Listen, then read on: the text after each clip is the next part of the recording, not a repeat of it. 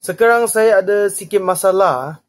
Masalah apa tau? Uh, minggu ini kita tengok banyak itu berita tentang itu perbuatan bulu babi. Uh, mungkin ramai orang tak tahu saya adalah seorang organ donor. Uh, ini kad saya. Tengok.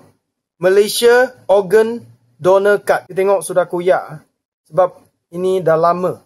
Yang belakang ni ada IC saya dengan nama saya. Wee Meng Chi. Yang paling penting ini dia boleh pilih tau. Dia ada kidneys, ada heart, liver, lungs, eyes, bones, skin, apa-apa. Tapi saya pilih apa tau? Saya pilih ini.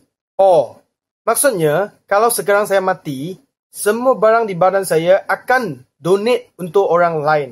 Untuk siapa, saya tak tahu. Halal ke, tak halal ke, muslim ke, tak muslim ke, saya pun tak tahu. Saya pun seorang blood donor. Saya pun donate darah saya. Yang sekarang masalah apa tahu? Sebab yang darah saya dengan organ saya langsung tak halal tahu. Ni donor card ah, dia tak ada tulis halal ke tak halal. Kalau satu hari kawan-kawan muslim kalau gunakan darah saya, saya akan kena lock up atau apa tak? Saya akan ada apa hal tak? Saya, saya haram tak? Saya pun takut tau. Kalau haram nanti pergi lokap lagi, masuk balai bos siasatan lagi, saya pun sibuk lah. Sebab selalu saya sudah masuk banyak kali. Saya nak mengabungkan rakyat Malaysia dalam filem saya. Saya nak mengabungkan semua agama-agama dalam music video saya.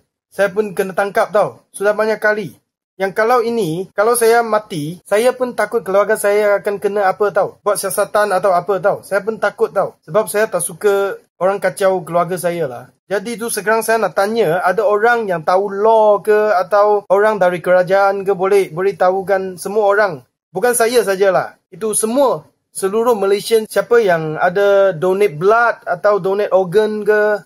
Sekarang kita nak buat apa? Boleh bagi tahu tak? Tolonglah, tolong bagi tahu, tolong. Tolong ah, terima kasih ah. Malaysia boleh ah. Thank you.